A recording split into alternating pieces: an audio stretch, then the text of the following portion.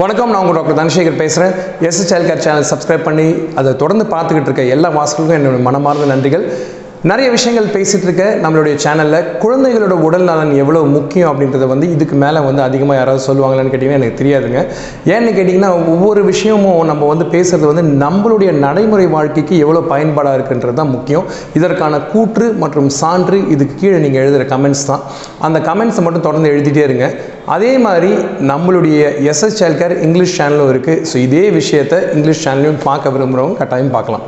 So இன்றைக்கி நம்ம என்ன பேச போகிறோம்னு கேட்டிங்கன்னா வீட்டில் என்னென்ன மருந்துகள் குழந்தைகளுக்கு அவசியமாக பேரண்ட்ஸ் எப்பவும் வச்சுருக்கணும் அப்படின்றத பற்றி தான் இன்றைக்கி பேச போகிறோம் மொதல் விஷயம் நீங்கள் தெரிஞ்சுக்க வேண்டிய விஷயம் என்னன்னு கேட்டிங்கன்னா பேராசிட்டமால்னு சொல்லக்கூடிய காய்ச்சலுக்கான மருந்து தான் முதல்ல ரொம்ப ரொம்ப முக்கியமான மருந்து. ஏன்னு கேட்டிங்கன்னா பாதி நேரம் குழந்தைங்கள வந்து அர்த்த ராத்திரியாக இருக்கட்டும் இல்லை பட்ட பகலாக இருக்கட்டும் எப்போவுமே குழந்தைங்கள வந்து பெற்றோர்கள் ஆஸ்பத்திரிக்கு கூட்டிகிட்டு வர்றது முக்கியமான விஷயம் காய்ச்சலுக்காக தான். ஸோ இந்த காய்ச்சலுக்காக என்ன விதமான மருந்துகள் இருக்குன்றதை முதல்ல பார்ப்போம். பேராசெட்டமால் மருந்து தான் ரொம்ப ரொம்ப காமனான மருந்து. இதில் வந்து பல விதமான பிராண்ட்கள் இருக்குது எந்த பிராண்ட் உங்கள் மருத்துவர் உங்களுக்கு சொல்கிறாரோ அந்த மருந்தோட பிராண்டை கட்டாயமாக வீட்டில் வச்சுருக்கணும் எல்லாரும் கேட்குற ஒரே கேள்வி சார் ஒரு பாட்டிலை திறந்த பிறகு எவ்வளோ நாள் பத்திரமா வச்சுக்கலான்னு கேட்டிங்கன்னா? என்னுடைய ரொம்ப ரொம்ப சிம்பிளான ஒரு டிப் என்னன்னு கேட்டிங்கன்னா அந்த பாட்டிலில் திறக்கிற தேதி எழுதி வச்சுருங்க. திறந்த பிறகு ஒரு மாதத்துக்குள்ளார அந்த பாட்டிலை நீங்கள் பயன்படுத்திடணும். ஒரு பாட்டில் முப்பத்தஞ்சு ரூபா மேக்ஸிமம் நாற்பது ரூபாய் இருக்குங்க. ரெண்டு பாட்டிலை வாங்கி வைங்க. தப்பி தவறி ஒரு பாட்டிலை திறந்துருந்தாலும் அவசரத்துக்கு திறக்காத இன்னொரு பாட்டில் இருக்குது. எப்பவும் நல்லது தானே? ஸோ தப்பு கிடையாது. ஸோ இப்போ இந்த பாட்டிலில் பார்த்தீங்கன்னா பேராசிட்டமாலில் மொத்தம் மூணு வகை இருக்குங்க. நீங்கள் தெரிஞ்சிக்க வேண்டிய விஷயம் என்னன்னு கேட்டிங்கன்னா பேராசிட்டமால் ட்ராப்ஸ் அதாவது சொட்டு மருந்து. நிறைய பெற்றோர்களுக்கு சொட்டு மருந்தும் சிறப்புக்கும் வித்தியாசம் தெரியறது கிடையாது. என்ன சார் காரணம் சொட்டு மருந்துக்கும் சிறப்புக்கும் அப்படின்னு கேட்டிங்கன்னா சொட்டு மருந்து அப்படின்றது ஒரு சொட்டுக்கு ரொம்ப அதிகப்படியான கான்சன்ட்ரேஷன் இருக்கக்கூடியது தான் சொட்டு மருந்து. சார் சொட்டு மருந்தை பெரிய பிள்ளைங்களுக்கு பயன்படுத்தலாமான்னு கேட்டிங்கன்னா தேவைப்படாது. அதே மாதிரி சிறப்பை குழந்தைங்களுக்கு யூஸ் பண்ணாமான்னு கேட்டிங்கன்னா கூடாது. ஸோ சொட்டு மருந்து பொதுவாக ஒரு வயசு வரைக்கும் தேவைப்படும். அதாவது நான் சொல்கிறது பேரஸ்டமால் சொட்டு மருந்தை பற்றி ஒரு வயசுக்கு மேலே அஞ்சு வயசுக்கு குறைவாக குழந்தைக்கு எடை எவ்வளவு இருக்கோ அதுக்கேற்ற மாதிரி பேரஸ்டமால் சிரப் தேவைப்படும். ஸோ ஒரு ஸ்பூனில் பார்த்தீங்கன்னா அதாவது அஞ்சு எம்எல்க்கு பார்த்தீங்கன்னா நூற்றி இருபத்தி அஞ்சு மில்லிகிராம் அப்படின்றது அரசு நிர்ணயிக்கப்பட்ட அளவு.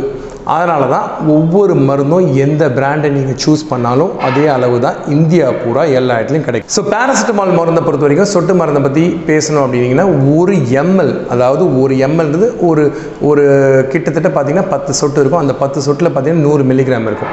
ஸோ நூறு மில்லிகிராம் இருக்கக்கூடிய ஒரு மருந்தில் ஒரு சொட்டு அதிகமாக கொடுத்தீங்கன்னா கூட அதில் பத்து மில்லிகிராம் கூட போகக்கூடிய வாய்ப்புகள் உண்டு. அதே சமயம் மூணாவது கேட்டகரி மருந்து எதுன்னு கேட்டிங்கன்னா பேராசிட்டமாலில் இரநூத்தம்பது மில்லிகிராம் ஐந்து எம்எல் வந்து இரநூத்தி எண்பது மில்லிகிராம் வந்து அதில் அளவு இருக்கும். இந்த அளவுக்குள்ளே நீங்கள் கரெக்டாக உங்கள் குழந்தைக்கு டாக்டர் இதுக்கு முன்னாடி எவ்வளோ சொல்லியிருக்காரு எவ்வளோ கொடுக்கலாம் அப்படின்றத நீங்கள் பார்த்து நிர்ணயித்து கரெக்டாக கொடுக்க வேண்டியது உங்கள் வேலை.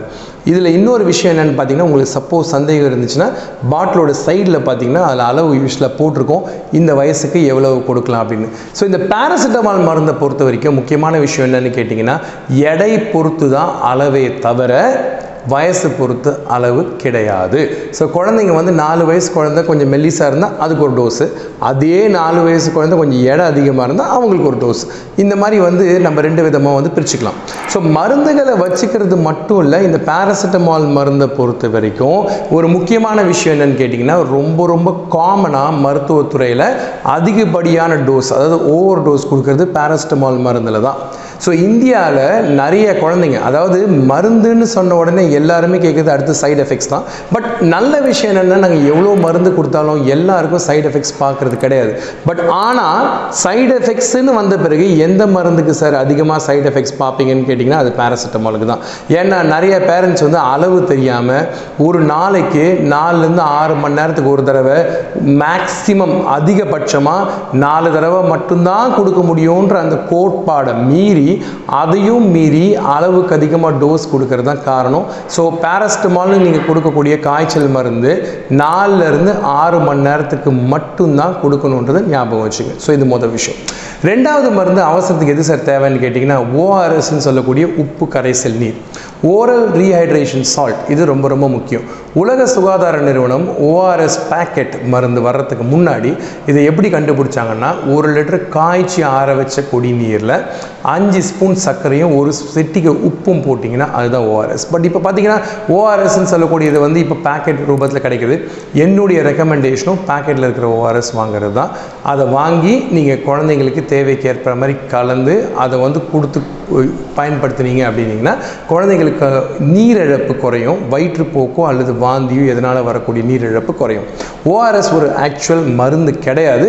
ஆனால் நீங்கள் நடக்கிறதுக்கு கைத்தடி மாதிரி நோயுற்ற சமயம் உடல் சீக்கிரமாக செரிமானம் செய்யக்கூடிய சர்க்கரை அளவு போதுமாக கொடுக்கக்கூடிய ஒரு விதமான உப்பு கரைசல் நீர் தான் ஓஆர்எஸ் ஸோ இது ரெண்டாவது. மூணாவது விஷயம் பொதுவாகவே குழந்தைங்களை விடக்கூடிய அடி தலையில் படக்கூடிய காயங்கள் மற்றும் வெட்டுகள் அந்த ரெண்டு விஷயத்துக்கும் ஐஸ் பேக்கும் பிளாஸ்டோ ரொம்ப ரொம்ப முக்கியம். வீட்டில் ஐஸ் பேக்கும் பிளாஸ்டோ வைக்கிறது கட்டாயமாக அவசியமாக தேவை. நான்காவது விஷயம் என்னன்னு கேட்டிங்கன்னா குழந்தைங்களுக்கு வந்து வெட்டுக்காயம் வர்றதுனால பிளாஸ்டர் ரொம்ப முக்கியமாக வச்சுக்கணும். ப்ளஸ் அஞ்சாவது விஷயம் என்னென்னு கேட்டிங்கன்னா பூச்சிக்கடி அப்படின்னு சொல்லக்கூடிய அலர்ஜி மற்றும் பூச்சிக்கடி வந்தாங்கன்னா குழந்தைங்களுக்கு ஆயின்மெண்ட்டோ பூச்சிக்கடிக்கான சிறப்போ முன்னாடியே டாக்டர்கிட்ட கேட்டு வீட்டில் ஒரு ஃபஸ்ட் எய்ட் பாக்ஸ் மாதிரி வாங்கி வச்சுக்கிட்டிங்கன்னா இந்த தொந்தரவே கிடையாது. பயம் இல்லாமல் நிம்மதியாக இருக்கலாம். ஸோ இது அஞ்சாவது விஷயம். இது இல்லாமல் நான் ஏற்கனவே சொன்ன மாதிரி மருந்துகளில் வந்து ரொம்ப கேர்ஃபுல்லாக ரொம்ப ஜாக்கிரதையாக இருக்க வேண்டிய விஷயம் என்னென்னு கேட்டிங்கன்னா வீட்டில் இருக்கக்கூடிய பெரியவர்கள் குழந்தையோட மருந்தை எடுத்து பத்திரமா ஒரு ஓரமாக வைக்கிறது ரொம்ப முக்கியம். ஏன்னா அந்த குழந்தைய அதை குடிக்கக்கூடிய வாய்ப்புகள் உண்டு. அதே மாதிரி உங்கள் மருந்து நீங்கள் ரொம்ப கேர்ஃபுல்லாக இருக்கணும். ஏன்னு கேட்டிங்கன்னா உங்கள் மருந்துகள் உதாரணத்துக்கு பார்த்தீங்கன்னா அது சர்க்கரை நோய்க்காக இருக்கலாம் இல்லை உங்களுக்கு பிபிக்காக இருக்கலாம் அந்த மருந்துகளை குழந்தை தெரியாமல் எடுத்து சாப்பிட்டுட்டா அதனால் பெரிய பெரிய பெரிய பிரச்சனைகள் வரக்கூடிய வாய்ப்புகள் மிக அதிகம்ன்றதை மறந்துடாதீங்க. ஸோ மருந்து தேவைக்கு ஒரு பக்கம் தேவை இல்லாதது ஒரு பக்கம் இதனால் வரக்கூடிய பிரச்சனை மறுபக்கம் அப்படின்னு வீட்டில் நம்ம தேவைக்குன்னு வச்சுருக்க விஷயங்களை பத்திரமா கண்ணில் படுற இடத்துல வச்சுக்கிறது நல்லது. எவ்வளோ முக்கிய மருந்தோ அதே சமயம் சில மற்ற விஷயங்களை பற்றி இன்றைக்கி நான் சொல்லணும்னு ஆசைப்பட்றேன். அது என்னென்னு கேட்டிங்கன்னா குழந்தைங்களோட செல்ஃபோன் பயன்பாடு இன்றைக்கி காலகட்டத்தில் ரொம்ப ஒரு பேய் வேகத்தில் உக்கிரமாக போயிட்டுருக்கு. எல்லாத்துக்கும் செல்ஃபோன் செல்ஃபோன் செல்ஃபோன் அந்த பழக்கத்தை முக்கியமாக நீங்கள் தவிர்க்க முயற்சி பண்ணுங்கள் இது ரொம்ப ரொம்ப முக்கியம். அதுவும் பொதுவாக உணவு சமயத்தில் செல்ஃபோன் பயன்படுத்துகிற தயவு செய்து தவறுங்கள் இது மட்டுமல்லாமல் குழந்தைகளுக்கு நல்ல பழக்க வழக்கங்களை பெற்றோர்களே சொல்லித்தர மறக்காதீங்க. இன்றைக்கி மரியாதைன்றதும் அன்புன்றதும் பாசம்ன்றதும் கூட்டுறவுன்னு சொல்கிறதும் சேர்ந்து விளையாடுறதுன்னு சொல்கிறதும் ரொம்ப ரொம்ப குறைஞ்சிக்கிட்டே வருது. இந்த விஷயத்தை கொஞ்சம் உன்னிப்பாக பாருங்கள் உங்கள் காலகட்டத்தில் நீங்கள் இதெல்லாம் வந்து எவ்வளோ அனுபவிச்சிங்களோ இந்த காலகட்டத்தில் குழந்தைங்க அதெல்லாம் அனுபவிக்கிறதுல இது ரெண்டாவது விஷயம். மூணாவது விஷயம் உணவு பழக்க வழக்கங்கள். குழந்தைகளுக்கு நம்மளுடைய பாரம்பரிய உணவு கொடுங்க. எல்லா உணவுகளையும் கொடுங்க. கொடுக்கக்கூடாத உணவுன்னு எதுவும் கிடையாது. உப்பு அளவு மற்றும் சர்க்கரை அளவை கொஞ்சம் உற்று கவனிங்க. தேவைக்கு அதிகமாக கொடுத்தீங்கன்னா அதுவே வந்து குழந்தைங்களுக்கு பெரிய பிரச்சனையாக மாறும். நாலாவது விஷயம் எடை. எடை உயரம். இந்த ரெண்டு விஷயம் பார்த்தீங்கன்னா நிறைய குழந்தைங்க பேரண்ட்ஸோட வர்றப்போ பெற்றோர்கள் எல்லாருமே சொல்கிறது விஷயம். சார் குழந்தை நல்லா இருக்குது சார். குழந்தை நல்லா இருக்குது சார் டாக்டர் எதுவும் வேண்டான்னு சொல்கிறார் எதுவும் வேண்டான்னு சொல்கிறார் ஆக்சுவலாக பார்த்தீங்கன்னா குழந்தைங்களோட எடை மற்றும் உயரத்தை பார்க்கறதுக்குன்னு ஒரு சார்ட் ஒன்று இருக்குது இந்த சார்ட்டை கொஞ்சம் பாருங்கள் இந்த சார்ட்டுக்குள்ளே உங்கள் குழந்தையோட எடையும் உயரமும் இருந்துச்சு அப்படின்னா நீங்கள் கவலைப்பட வேண்டிய அவசியமே கிடையாது. ஆனால் பிரச்சனை என்னன்னு கேட்டிங்கன்னா இந்த எடையும் இல்லை இந்த உயரமும் இல்லை.